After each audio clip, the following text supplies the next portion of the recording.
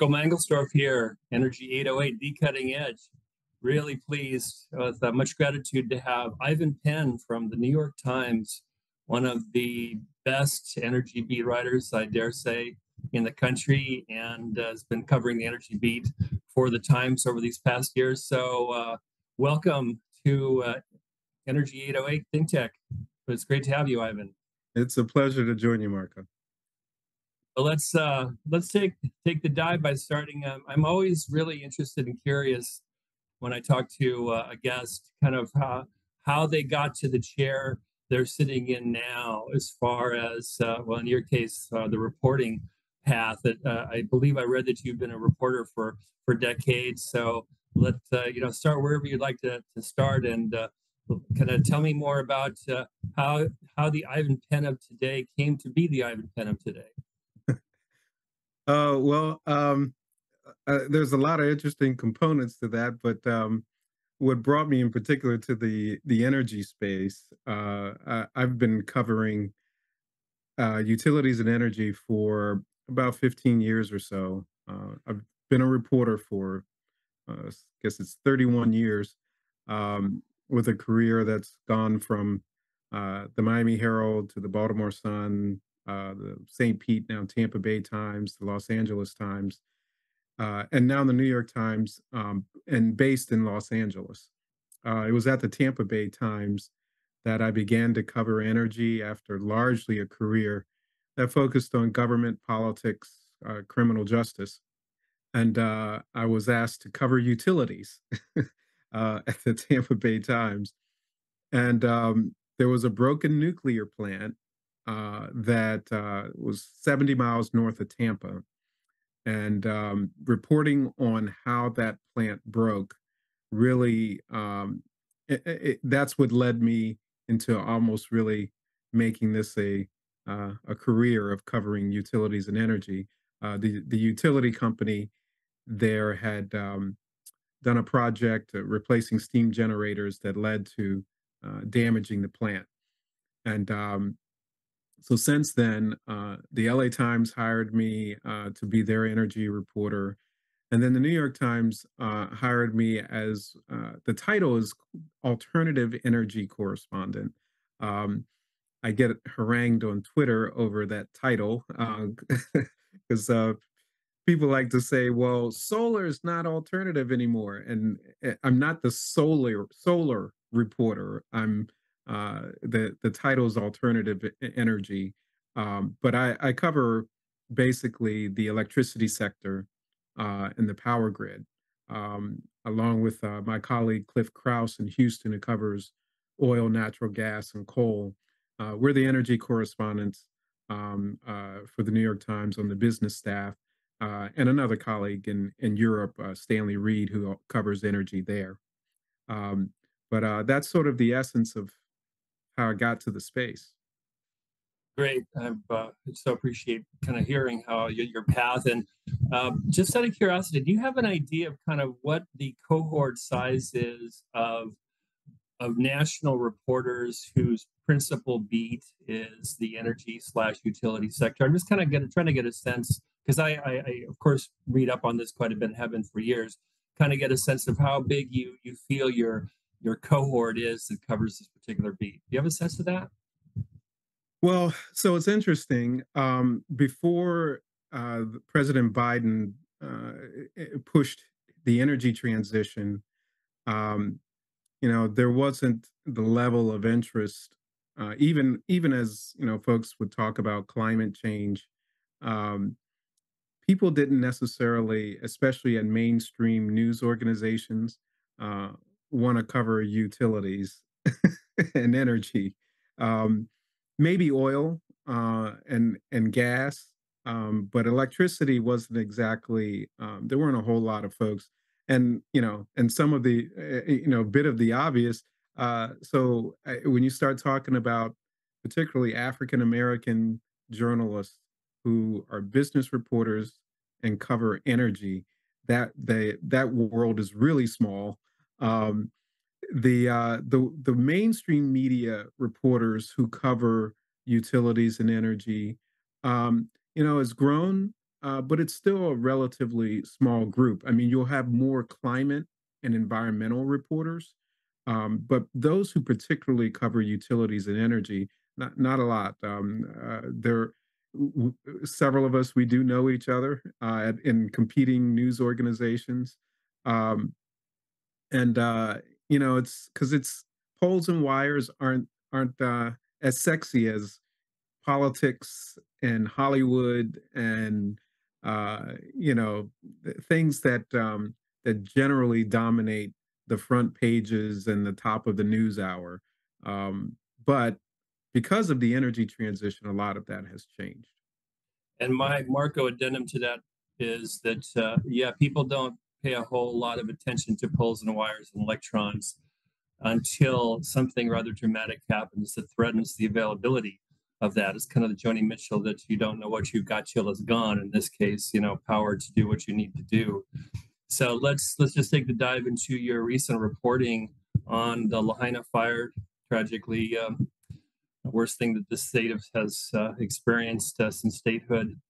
And you, along with other Times reporters and many others, uh, national and local, have been covering this story from multiple angles. And uh, I've read all your stuff. And uh, kind of what stands out to you in your reporting over the past couple weeks about uh, uh, the fire, the, the possible causes, Hawaiian Electric, all of the above?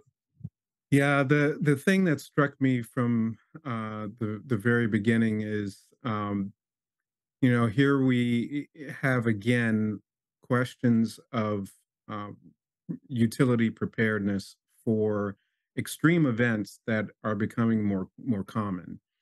Um, when uh, when we really look at the picture, we have an electric grid that's uh, well over 100 years old, and in many cases, that grid all across the country um, hasn't been upgraded to meet not only the clean energy challenges of uh, rooftop solar, batteries in garages, um, and you know electric vehicles, but the climate events that are driving the energy transition. And uh, so, what we began to to see in our reporting um, were some similarities uh, to things that we've reported on uh, on the mainland. Um, questions about the uh, w- were the electric poles, the power lines, uh, were they uh, up to date, and uh, were they the sources of these deadly fires? Uh, is once again we we saw in particularly here in California, it was uh, electrical equipment that failed. Particularly, um, the biggest one was a transmission tower that failed and caused the Camp Fire um, and you know that killed 85 people. Uh, so we started seeing uh, some evidence from particularly one company called Whisker Labs. Uh, they have home sensors that detected uh, uh, some what they call faults and arcing on on the on the power lines. So in, in those cases, um, you you see drops in voltage and and ultimately um, potential sparking. And if you've got a lot of dry brush, that can trigger a fire. So a lot of attention, of course, has turned to that area, and and that has been you know a consistent focal focal point of the wildfires in California and and increasingly in other places uh, around the states. So that's uh, that that's what those were the most striking things um, from the beginning. Yeah, there's been um, you mentioned the Camp Fire, which is getting a lot of uh, play, uh, so to speak, as far as people referring back to that last uh, terrible fire in 2018 in California. And uh, many pieces I've seen have brought uh, PG&E into the course of the discussion. And from your perspective, I'm wondering what what do you feel are the parallels or lack thereof between, let's say, what happened uh, with, with PG&E and what you're we're witnessing so far with uh, the fires uh, on Maui and, and Hawaiian Electric? Well, I, I, of course, the, the first thing that people started thinking because uh, when you start looking at the the potential cost uh, of recovery uh, in the in the billions of dollars, and then that's weighed against uh, the the value of Hawaiian Electric. Um, the first thing people start thinking about is uh, is the utility going to have to go into bankruptcy, uh, as we saw with uh, PG&E? And um, when you start thinking about it in that context, you know these are so you have multiple things that people are looking at in the comparison. One, obviously, is uh, potentially uh, utility equipment causing a fire, uh, resulting in scores of deaths, um, and a utility uh, so overburdened uh, with liability that uh, it may have to seek bankruptcy protection in order to handle it all. Um, just to give a little context for the comparison, with PG&E, part of the issue was not only the Camp Fire, but it was multiple fires, uh, including some that sort of preceded a uh, the string of what um, what some related to uh, the kind of climate change explosion of the wildfires uh, beginning in 2017. PG&E was already trying to resolve previous wildfires, and then suddenly uh, they have this string that uh, began in 2017. Um, the the most deadly, devastating one, the Camp Fire in 2018. And as a way to manage all of this, they they took uh, the bankruptcy route uh, because they had all of these court cases uh, they were beginning to deal with. So um, akin to that, Hawaiian Electric uh, now is looking at having to manage a series of lawsuits that have been filed on the behalf of victims. And you have the uniqueness of Hawaii, um, where you have different islands, and unlike the mainland, where you have connections to the grid throughout a state and even across state borders, Hawaii has uh, separate grids on on the different islands. Uh, so they're all acting independently, which creates, you know, another set of of issues for Hawaiian Electric to manage, in addition to those uh, the multiple suits uh, that that keep getting filed. Um, so a lot of parallels, um, and and then you know a significant difference in uh, that um, Hawaiian Electric has separate grids that it has to deal with. Um, that's a that's a unique situation. Five of them, in fact, uh, which which don't have underwater cables, uh, as we all know, and probably not going to happen in my lifetime, nor probably in yours. And uh, I'm wondering, you know, from from your take, just um, it's a little bit of background. So I, have heard it from a number of, of sources, and I read it in uh, Katie Blunt's book on PG&E that they're one of the issues with PG&E, and it's also been put out there with Hawaiian Electric, is that maybe their focus over the years was so heavy and so pronounced on renewable energy development that that kind of took up so much oxygen in the room, so to speak, that it left other priorities uh, lower on the list. Do you, do you, find any merit in that? That somehow, uh, in this case of Hawaiian Electric, that maybe they too were so somehow uh, preoccupied with renewables that uh, other important priorities were were not ignored, but just that weren't given the same level of uh, uh, urgency to to do something. Well, that may be the case, but um, you know, there's a bottom line uh, when it comes to the regulated utilities, and that is they have a very clear mission. It is to produce safe, reliable, and affordable electricity. That is their core mission. And so everything else um, is supposed to be subordinate to that. Uh, even as you're developing a clean energy profile, um, those th- those things are supposed to stand out in the forefront.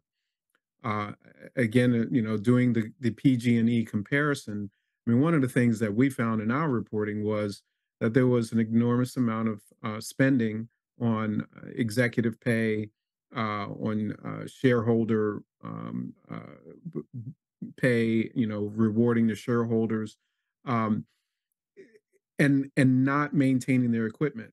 Because again, that Camp Fire. So the tower that broke was 100 years old. And uh, by PG&E's own standards, it was 25 years past its useful life. So why was that tower there?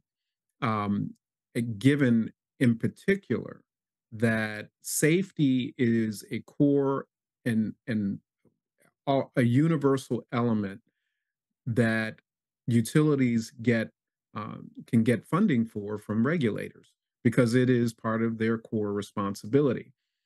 I've seen um, a number of utility experts just uh, raise the eyebrows, shake their heads, uh, wondering why would you not uh, make sure that your grid was stable, make sure that all of those things were taken care of, because the regulators are going to approve things that that are safety issues.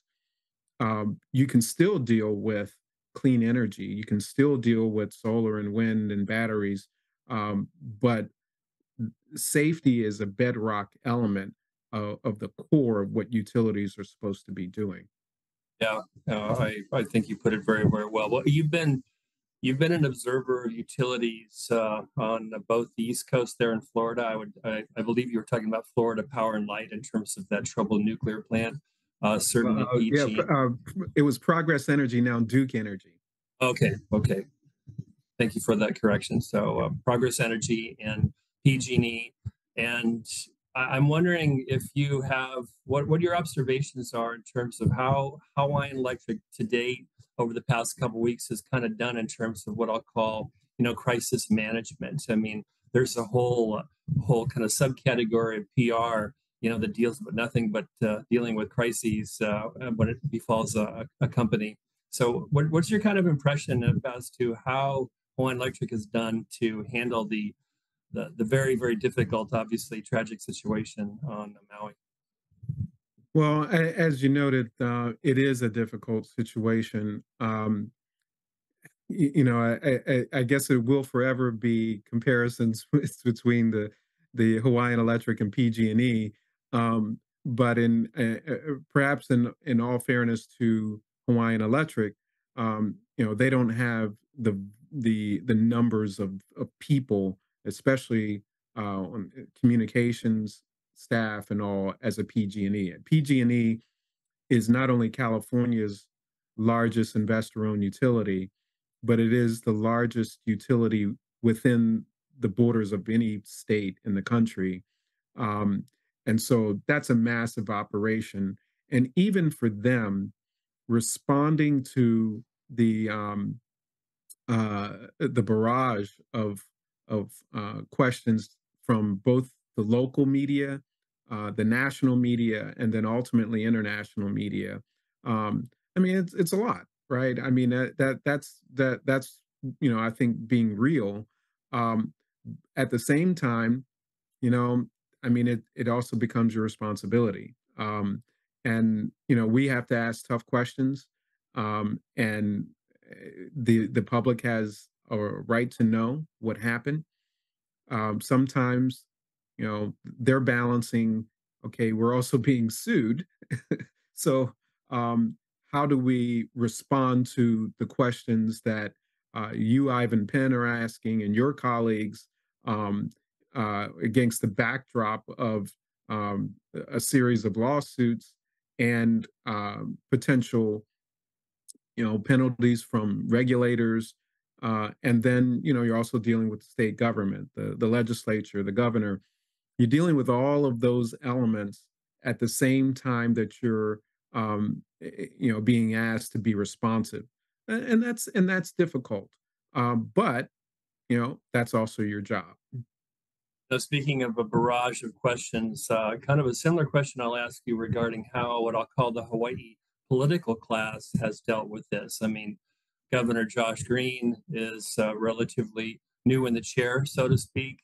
Uh, same with uh, Richard Bissen, Mayor, County of Maui. They've been holding multiple uh, meetings before the press. Do, do, you have any sense of kind of how you would grade them and as far as how they're handling uh, this Well, from a I, mean, in my position, I wouldn't particularly grade uh, offer a grade um, to maintain our, you know, uh, uh, particularly as a reporter um, and not necessarily a columnist, um, the objectivity. Um, you know, but from the reporting that we and others have done, I mean, obviously people are deeply concerned about um, the response because they need help.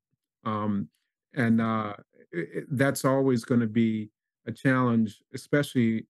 I mean, this is there's a lot of really complicated issues here. I mean, we still we have hundreds of people who still aren't accounted for. yeah. Um, that's a and and that affects response.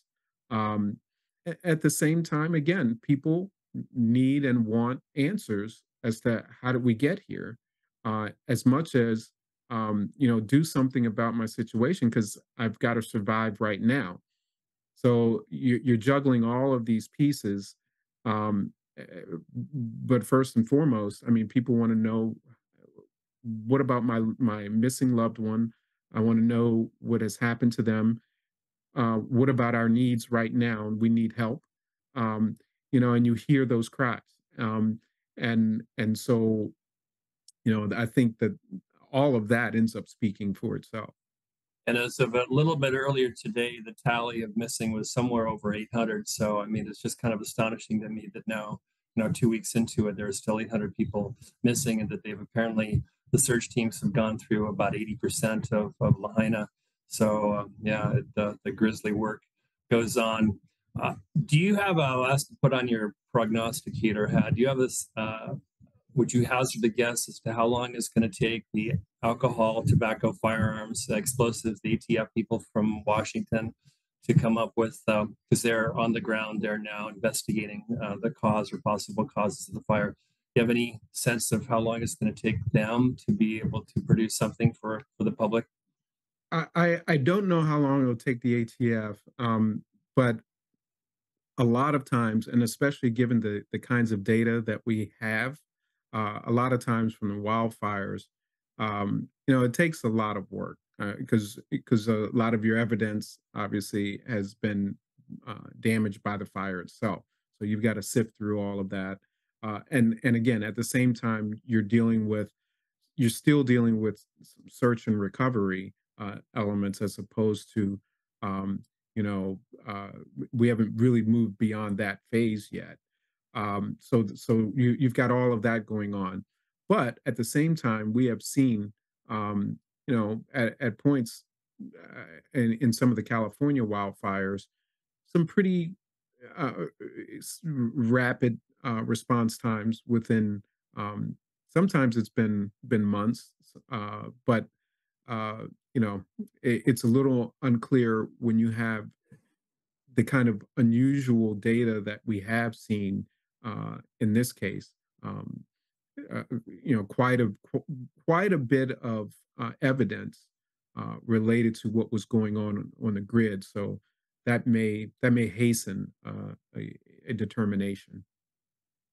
Thanks. Anything more you want to say on this subject before we uh, we shift topics? Uh, well, you know, I mean, this is um, this is going to be an an ongoing question. Uh, I've been raising um, the, the questions about our our distribution as well as transmission system. We talk a lot about the transmission system, especially in the in the energy transition. But a lot of these poles and wires that are connecting the grid to our homes, um, there's a lot of work that needs to be done all throughout the country um, yes, we want to move solar and wind from one area to another, but uh, that equipment that connects uh, our home and bus- our homes and businesses to the grid, that also needs attention. Um, and when you start plugging a whole lot of stuff up to it, the solar panels, the batteries, the electric vehicles, you got to consider what kind of impact that that's going to have uh, on equipment that's 100, 125 years old. Well, you know, I've been at this for a very long time, and I couldn't agree more. I mean, the distributed generation uh, shift going from the Edisonian, you know, great big power plants with power lines going hundreds or thousands of miles hither and yon is certainly shifting to a very, very different model. And yet the infrastructure, the architecture is still kind of stuck in the 100 year ago uh, mold, and, and it's going to take a time and it's going to take a tremendous amount of money uh, to be able to to move us where we want to go. So let me let's go to, to your piece from last year. So you wrote a what I thought was a really great piece in uh, May of last year, a long piece on Hawaii energy, renewable energy. Can you uh, reach back in time and uh, kind of share the the top things that come to mind about what you learned during your your your reporter visit here uh, in the first half of last year and what you wrote? whenever I think about um, uh, Hawaii, I think about um, you know I, obviously the number one thing uh, outside of you know a, a, disaster situation like this is the electricity rates. Um, uh, Hawaii has the highest rates in the country, and a- as we looked at um, you know some of the dynamics, because part of the question, especially at that time, uh, we had the the um, the beginnings of the of Russia's war in Ukraine, and uh, that caused natural gas price, prices to spike, and Hawaii, uh, you know, imports all of its fuel um, for the the fossil fuel generators. So the, there was a direct impact, and uh, learning that the renewable prices uh, were tied to um, the uh, fossil fuel prices, um, you you you saw just an overall increase in the rates, uh, even as you were trying to um, you know c- clean up the grid. Uh, those were some really um, fascinating dynamics. You know, we need to rethink how we have packaged everything because there was um, not just Hawaii, but all over the country, some short sightedness in how we have uh, how we have developed the grid.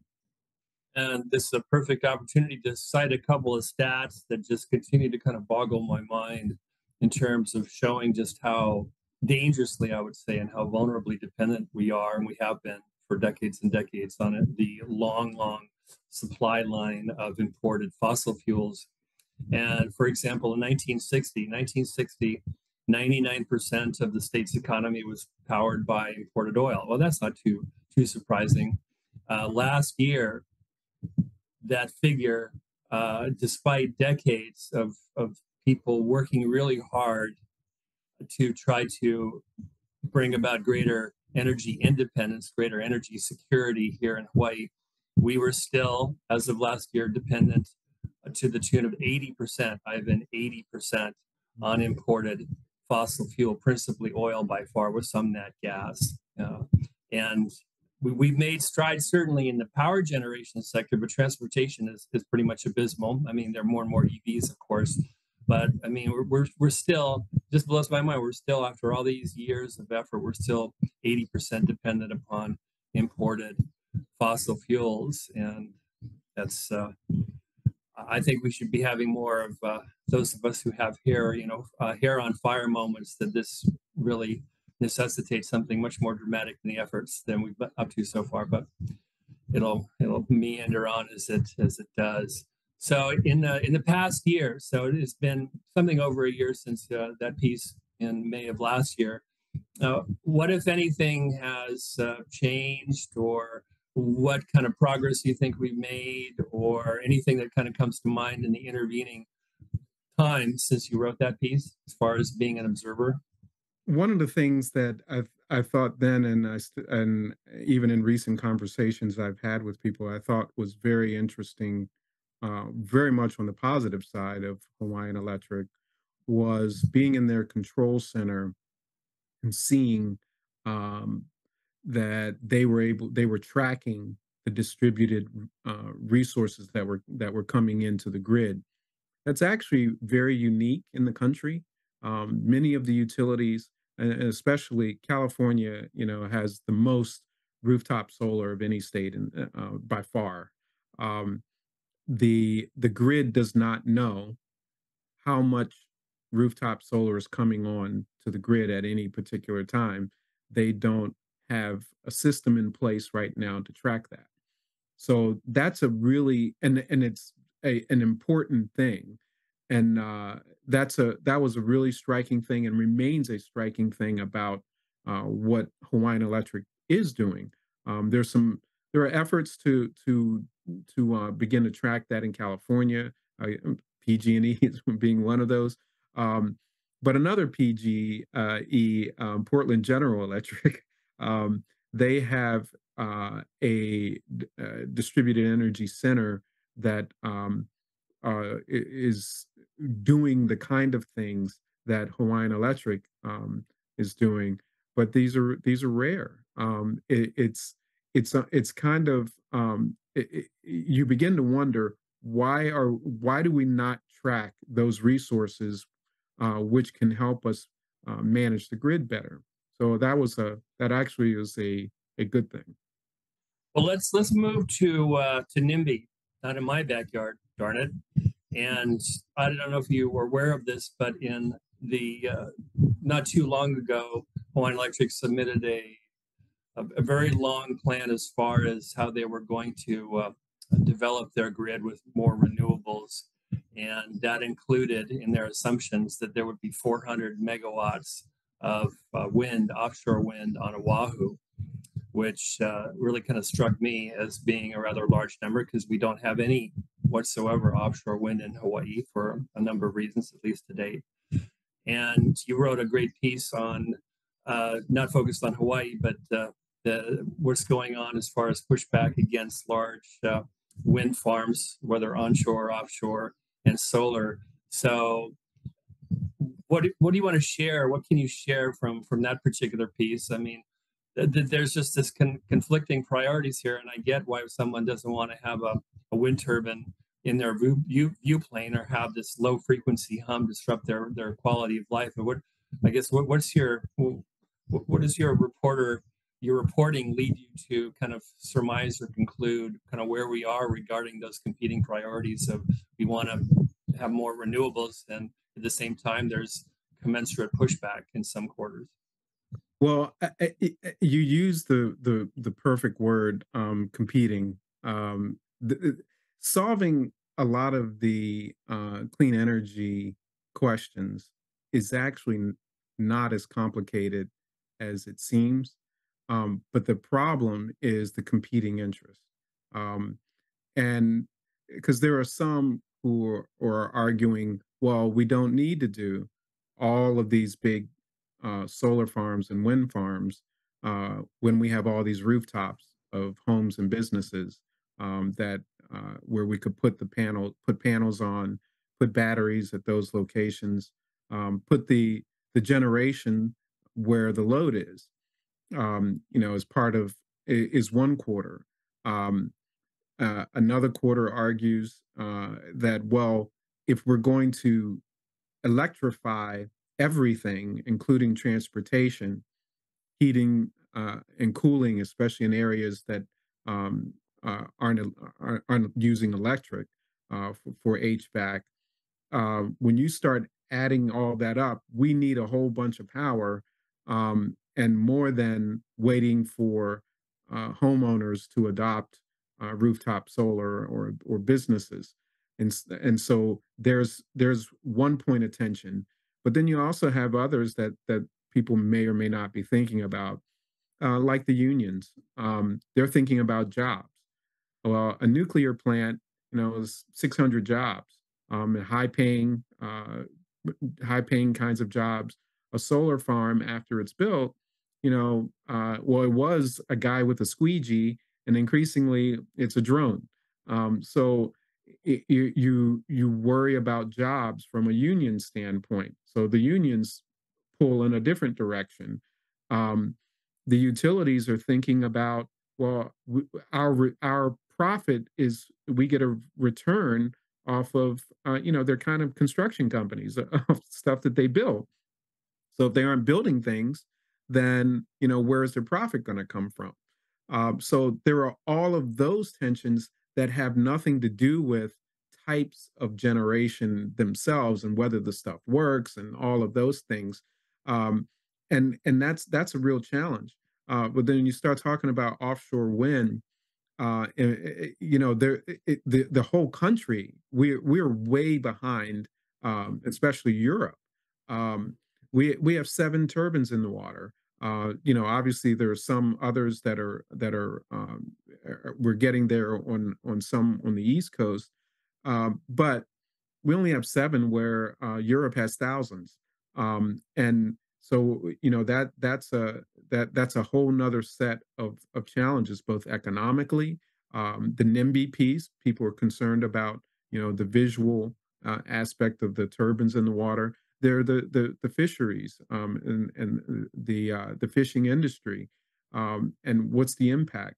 The environmentalists worrying about uh, the whales and um, you know what are the impacts of having lines under the water for these turbines so i mean there there there's a whole lot of uh, policy po- political nimby um, uh, job interests that are all competing against each other that don't necessarily have anything to do with the energy itself um, but they are the drivers no, that's these are great points you're making, and just kind of bring it back uh, to Hawaii. I mean, Oahu is the island that's really kind of in the in the more difficult straits because there's you know one million out of the state's 1.4 million who live there approximately, and whereas uh, on the Kauai, where KIUC, the, the co-op there has been exemplary as far as bumping up their renewables, cost-effective renewables. Uh, the Big Island is number two on the list. Uh, Maui is not doing too bad, at least wasn't until what happened a couple weeks ago. But it's really Oahu, which you know the, the, the big bulk of the power demand is, and there's less room, there's less space. So hence, you know, looking looking to the horizon in the ocean for for megawatts, perhaps of large wind turbines. Well, we could go on and on. I feel like we both uh, we've only kind of scratched the surface here, but uh, all good things do come to an end at some point. So, uh, Ivan Penn, uh, I can't tell you how much I really appreciate you joining me and joining us today. And uh, I hope I can have you back before too long to share all the interesting, juicy stuff that uh, you will be uh, reporting on from now until that next time. So, uh, mahalo nui loa for joining us and uh, ThinkTech. Thank you.